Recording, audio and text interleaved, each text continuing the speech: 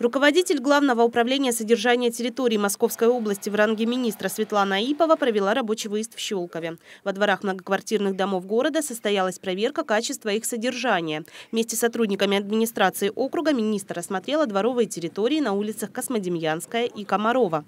Зимой работа коммунальщиков превращается в настоящую борьбу со стихией. Сотрудникам управляющих компаний бывает непросто справиться с большим объемом работ в сезон снегопадов.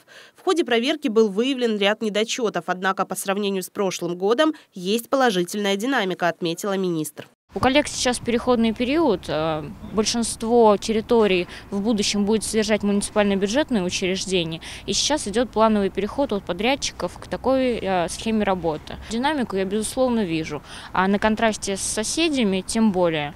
Но, тем не менее, есть э, большое количество замечаний по проездам и по пешеходной инфраструктуре, а также по детским площадкам. Министр поручила за неделю устранить все замечания.